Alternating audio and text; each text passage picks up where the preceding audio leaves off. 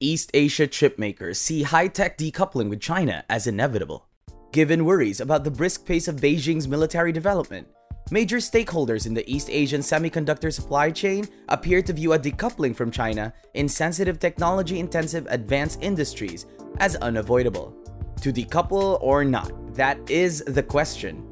Let's dive into the details and see how far the America-China chip war is taking the East Asian chipmakers, also known as their relative allies. Welcome everyone to this channel and don't forget to subscribe. In recent years, the United States government imposed dozens of additional technology regulations on China, but none of them had a single overarching goal. Some aimed to combat risks to national security, some had more financial motivations, and some had unrelated goals like playing political or domestic games that had nothing to do with technology. Too often, American officials and experts use overly generic language to describe countering or reining in Chinese technological dangers and threats, omitting important objectives and trade-offs. We only started becoming familiar with the term trade war around 18 months ago, but by the end of the previous year, this had pleasantly evolved into a technology war. And by the first several months of this year, they had expanded into a much bigger economic conflict that now also involves trade, technology, human capital, foreign direct investment, capital markets more broadly, and as of last week, national currency policy.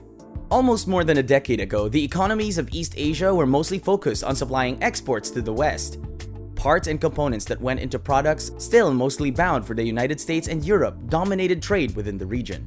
The most recent OECD data, as shown in his working paper, indicates that this is no longer the case. East Asia is currently creating its own demand. Behind this development has been the enormous growth in Chinese demand, which has now surpassed the United States as the primary source of final demand for the rest of the region. East Asia is therefore somewhat more susceptible to escalating US-China trade disputes than is generally believed, and they are finding it hard to decouple with Chinese enterprises. The use of the phrase decoupling to characterize the trajectory of the US-China relationship in a casual, increasingly cavalier, and, for some at least, apparently satisfying manner brings to mind the adage that words have the power to kill in international relations. In fact, decoupling has emerged as the buzzword in US-China ties, reflecting the relationship's evolving reality. A comprehensive list of new export restrictions aimed at China's chip and supercomputing business was released by the US Commerce Department last month. China's capacity to buy and produce specific expensive semiconductors used in military applications may be hampered by the action. Although China produces certain semiconductors, its foundries are unable to produce the most sophisticated logic devices. With the exception of American software and equipment, Beijing primarily depends on Taipei for the cutting-edge semiconductors required to upgrade its military. In order to strengthen economic security and prevent a potential worldwide chip crunch in the case of a conflict between Taiwan and China, the United States is leading the effort to form the Chip 4 alliance with Taiwan, South Korea, and Japan. The relationship is currently in the worst condition it has been in for a close to 50 years, but despite this, neither the US administration nor the Chinese government at least at this point, are using the D word as part of their official language. According to US Commerce Secretary Gina Raimondo, the US has urged its allies to abide by its export controls in order to prevent China from gaining access to sophisticated semiconductor technologies and apply comparable restrictions. Wang Meihua, Taiwan's Minister of Economy, stated that the limits only apply to particular chips used in cutting-edge industries like supercomputing and artificial intelligence, not the bigger market of chips used in consumer devices.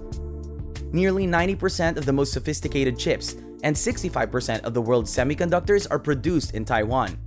These chips are utilized in nearly every piece of contemporary technology, including telecommunications and medical devices, as well as in the essential infrastructure that keeps society running.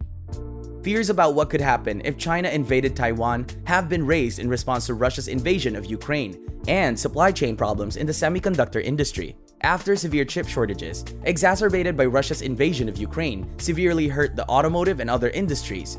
The subject of supply chain's resiliency was discussed during the Asia-Pacific Economic Cooperation Summit, which ended Saturday in Bangkok.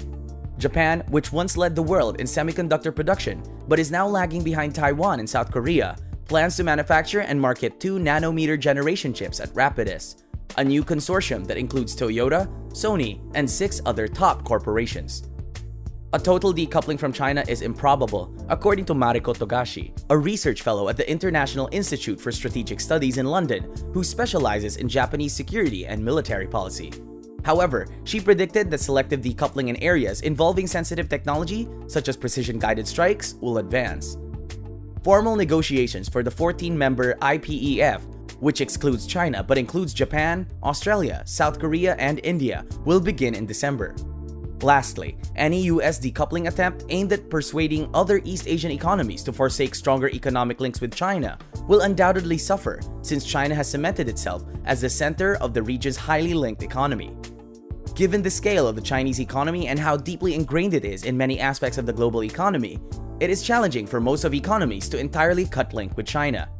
The official meetings to conclude this suggestion will take place by the end of the year. China is also likely to invade Taiwan by that time. However, no official news regarding that has been disclosed. With that being said, we come to the end of the video. Will this transforming Cold War stop by decoupling? Let us know your thoughts in the comment section below. If you enjoyed this video, be sure to give it a big thumbs up and share it with your friends. To keep up to date about what's happening around in different countries, subscribe to our channel and press the bell icon to stay updated about our latest content.